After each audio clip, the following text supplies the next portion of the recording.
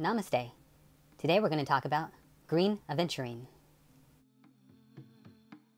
The key words associated with green aventurine are vitality, growth, and confidence. The elements associated with green aventurine are water and earth. Green aventurine resonates with the fourth chakra, the heart.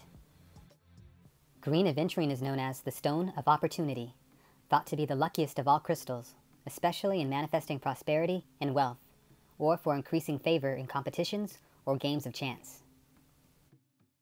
This beautiful green stone, however, is not merely an attractor of luck, but one that aligns conditions so opportunity is inevitable.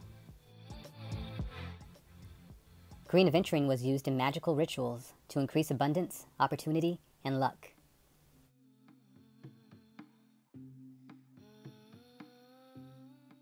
Green aventurine is a stone of optimism and zest for life.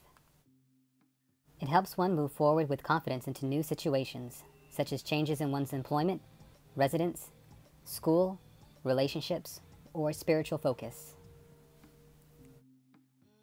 Aventurine brings with it a feeling of lightness, even humor, as it assists one in dealing with the ups and downs of life.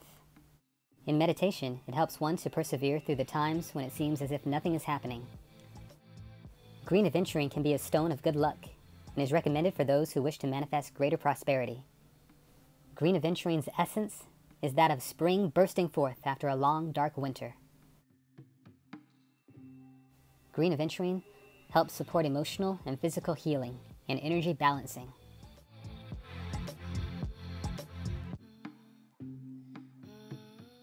Well, that just about concludes today's video. I appreciate you watching. Have a wonderful day, everybody.